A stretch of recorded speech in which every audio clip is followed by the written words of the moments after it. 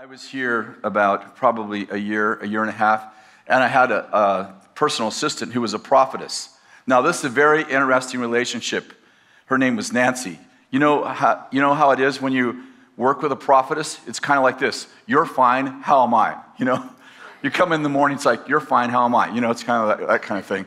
And so, and Nancy uh, was, she is a great woman. She's still in our lives.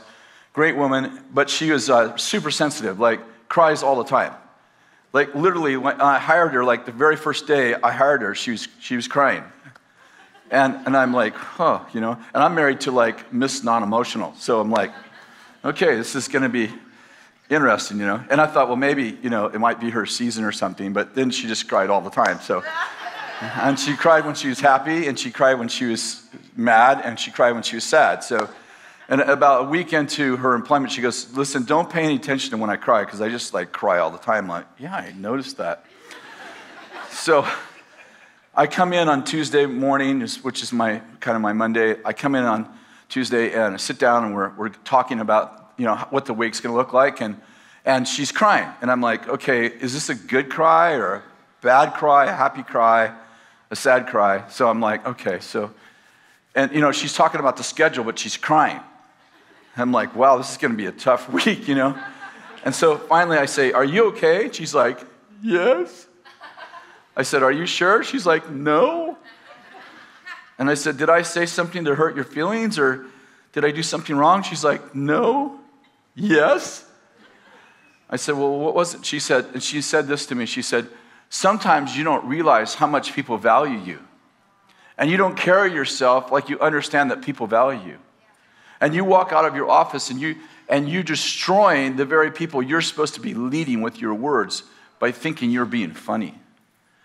And I said, Did I say something to hurt your feelings? She's like, Yes. And so she told me what it was, and you know, it was just being just it was just bad sarcastic humor. And and I asked her to forgive me, and I gave her a hug, and it was all good. Like it was, you know, it wasn't one of those things like, oh, this will probably take two weeks to work out. It was no big deal. And uh, by the way, you know, she'd already worked for me for a year and a half, so this was kind of our, this happened a lot. I didn't think about it. I went, to, went home that night. I didn't even tell Kathy about it. It was no big deal. We had the rest of the day together. She was semi happy and cried less most of the day. and, uh, and so that night, I went to bed and I fell asleep and I had a dream. And have you ever had a dream where you can't remember the dream, but the emotion of the dream totally stays with you. You kind of want to go back to sleep and, like, what was I dreaming, right? So I, I, I wake up, I don't know, it's two, three o'clock in the morning. I wake up and I, and I have this overwhelming feeling like I lost my best friend, like total grief. And a verse is running through my mind. You know, you ever have a song go through your mind? You may not even like the song, it just goes through your mind. And this verse is going through my mind. It's just a part of a verse. The world cannot hold up under a pauper when he becomes a king. The world cannot hold up under a pauper or a slave when he becomes a king. And I, I knew it was a proverb. I hadn't read Proverbs for a couple years, so I like it wasn't something I just read. So I'm, I'm half asleep. I feel this overwhelming sense of grief. I'm laying against my headboard. This, this verse is going through my mind. And finally, I, I kind of wake up and I say to the Lord, Lord, are you speaking to me? He says, Yes, you're a pauper, a slave who's become a king, and it's, you're killing the very people you're supposed to be leading, and it's time for you to change. And when he says that to me, immediately I'm taken in the morning to the back to that morning to a, in a vision of Nancy. Remember, she said to me, "You don't realize how much people value you, and you don't carry yourself like you understand that you're valuable, and you're destroying the very people you're supposed to be leading with your words." And so I have this vision, and the Lord says to me, the Lord said to me, Do you know why Moses had to be raised in Pharaoh's house? Moses had to be raised in Pharaoh's house. You know, if God asks you a question, he typically has an answer. And I, and I was thinking to myself, Moses had to be raised in Pharaoh's house. How many of you know that story? Like the Pharaoh's killing all the firstborn males and his mama puts him in a basket and sends him down the Nile River. Remember the story? And Pharaoh's uh, daughter, the princess, rescues him, and he grows up in Pharaoh's palace. And the Lord says, Do you know why Moses had to be raised in Pharaoh's house? I said, No, I bet you're going to tell me. He said, Because a man who's in slavery internally cannot free people who are in slavery externally. So it was necessary for Moses to be raised as a prince so he could free my people. And then he said to me, Unlike Moses, who was raised to be a prince, you were raised to be a slave. And he took me back into my childhood, and I, I won't tell you a long story about it, but just a few incidents. My very first memory of my very first stepfather, he was a very big man, he was a bodybuilder.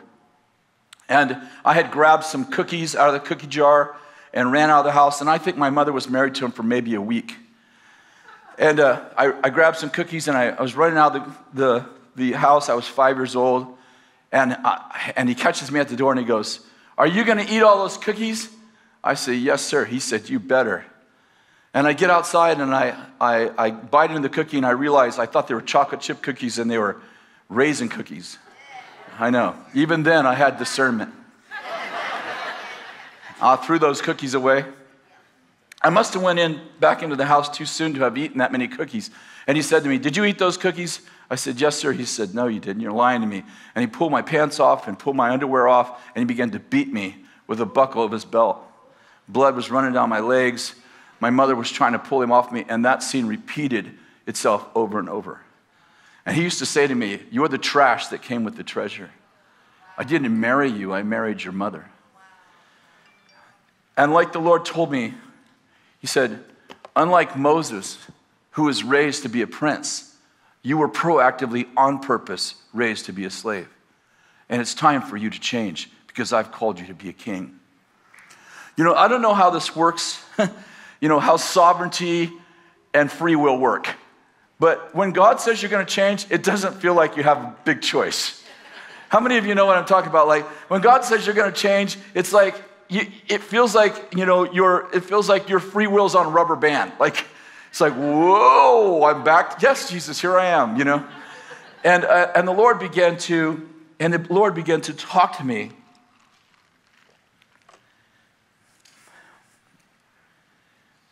The Lord began to talk to me about being a son.